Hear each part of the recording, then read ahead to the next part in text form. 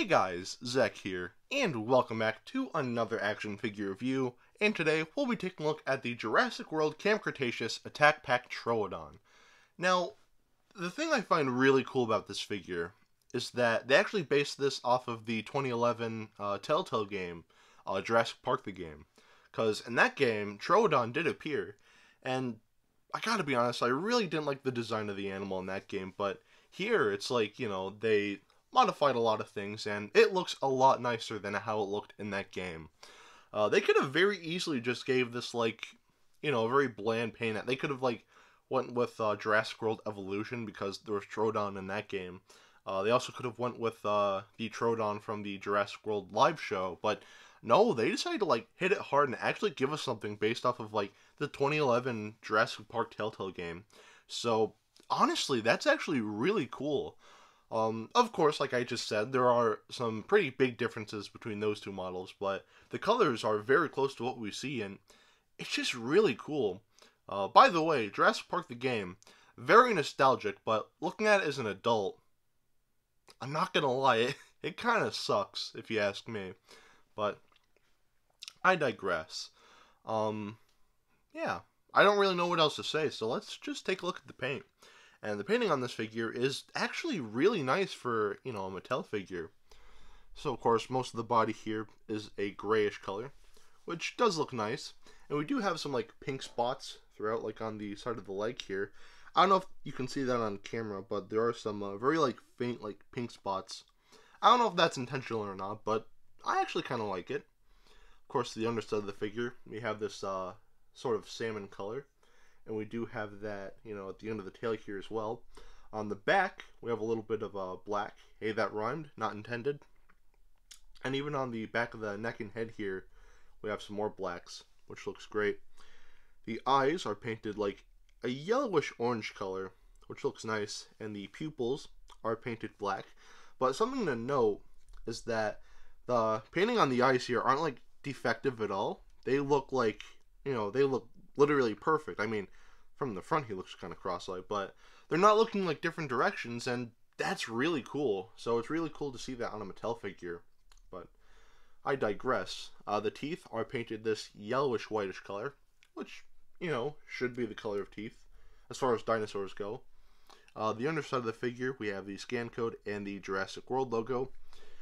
And of course, you know, kind of a shame, but honestly, not a big deal. Uh, they did not paint the toenails and fingernails, which, again, at this point, you're kind of used to it. You get used to it, so this isn't really a big deal. So, yeah. Anyway, uh, that is pretty much it for the painting on this figure. And the painting on this figure is actually really nice. Um, not only do I really like the colors, but the paint apps are just like applied very nicely. So it's just, yeah, it looks really nice and like you know very like presentable. It looks good. No like paint defects at all. So like Mattel, good on ya. Usually with like you know a lot of Jurassic World figures nowadays, there's at least one minor paint like mess up, but no, not at all with this figure. Maybe there's one that's like really small, but like the presentation here is very nice. So again, the painting on this figure, it's really good. So I'd say it gets a pass. Uh, now take a look at the articulation. Uh, nothing too crazy, but there is some articulation we can talk about. The mouth can open that much and close like so. The head can look up that much and down that much, which again also it's cool, but there's this weird like hunch here, which looks a little weird. But yeah, the arms can move 360. They're made out of rubber, so you can just like bend them around and whatnot to make them move 360 the legs can go backwards about that far. Unfortunately, like the arms do get in the way. So you do kind of they can't really go 360, but they can also push that far upwards as well. So let's just fix that real quick. And we have a swivel at the tail here. And that's pretty much it for the articulation on this figure. Nothing crazy, but for what it is, um, yeah, the uh, articulation on this figure is very nice. So um, the articulation on this figure is good. So I'd say it gets a pass. Uh, now take a look at the sculpt, and the sculpting on this figure is very nice. Uh, like I said, they actually based this off of the 2011 Telltale Jurassic Park game. And of course, they made a lot of changes to that design because obviously they couldn't just take that and just sell that as a toy. They had to make some differences. And I think that's for the better because in that game, I really didn't like how the Troodon looked. Very just like, you know, like a middle school, a middle schooler designed it. But here, it actually looks like an animal. You know, like everything is just really nice here, and I like it. I like the included like um quills on the back of the body here and on the back of the head. That looks really nice. And I also like the wrist uh, position, which um yeah, it's like sort of like in this uh kind of like this clapping state almost. So yeah, I really like that. And um yeah, the sculpting on this figure is just really nice. So yeah, uh, the sculpting on this figure, it's good. I like it a lot. So the sculpting here definitely gets a pass. Now I'll take a look at the detailing. And the detailing on this figure, wow, the detailing on this figure is really good. So let's take a closer look. So of course, going to the head here, we can see all the uh, bits of detailing in the head here, all the little scales and everything, and the nostrils there. Everything here is just beautifully detailed, just beautifully defined, and all the creases in the neck here. Again, just looks really nice, very nicely defined. Um, on the side of the body here, the side of the body here, like all the scales are detailed pretty much perfectly. This is like, this is great. This looks great. This looks and feels great too. The quills here, they could be better, but like the actual detail on the side of the body, like all the scales are just beautifully detailed. And we even get that like on the side of the arms here, you know. And the arms have a nice bit of musculature to them as well. But um, yeah, the leg here also has a lot of really nice musculature and everything like that, and just again the scales here are just very nicely defined, very beautiful, and um, you know the tail here, a lot of creases, a lot of like musculature, and again the detailing here is just phenomenal. I love it a lot. So, yeah, that's pretty much it for the detailing on this figure.